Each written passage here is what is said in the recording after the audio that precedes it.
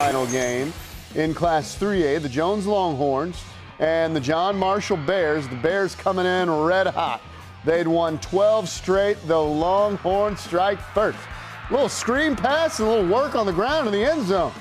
Longhorns lead it eight to nothing. They always go for two. The Bears, though, they got a guy named Devontae Lee, and, and he's hard to tackle. Bruising.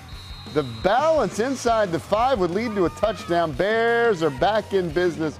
And then watch Lee again. It's another touchdown for the Bears, but you know what? Didn't matter. Jones comes back to win 36 29, so they advance to the state championship game.